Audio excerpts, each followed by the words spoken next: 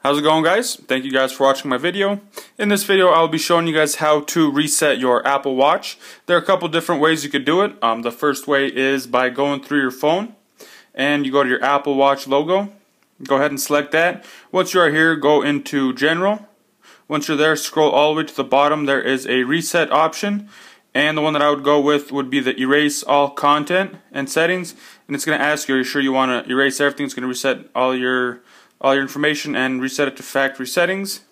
That is the first way. If you want to do it, you just go ahead, hit the button. The second way to do it would be by using the Apple Watch. What you want to do is go into your settings app. Once you are in your settings, go into your general. So when you get into your settings, it should look like this. Um, general.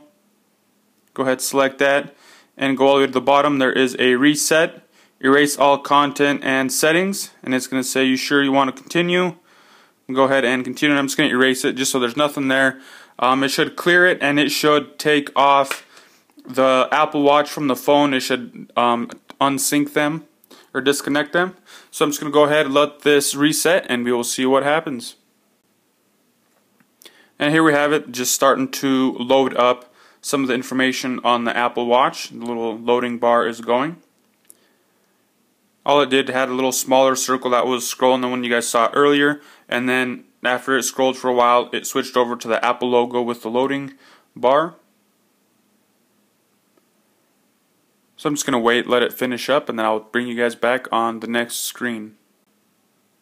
So it just finished the first loading bar. Um, as you guys can see another Apple logo has popped up but the, the first loading bar just went all the way around the Apple and then it uh, stopped and once it shut off it just went all black and then it came up to this screen and I will we'll see what's next. Well, and the second uh, loading bar just finished up and this startup menu for starting up your iPhone or your Apple Watch popped up. I'll go over here to the phone and show show you guys that the Apple Watch, there it is, is not connected anymore. It's takes you to the start pairing page. So that is how you reset your Apple Watch. Uh, if you guys like this video, go ahead and give me a thumbs up. If you have, guys have any comments, questions, concerns, go ahead and put it in the comment section below. I will try to do my best to get to it as soon as I can. Thanks for watching this video, and have a nice day.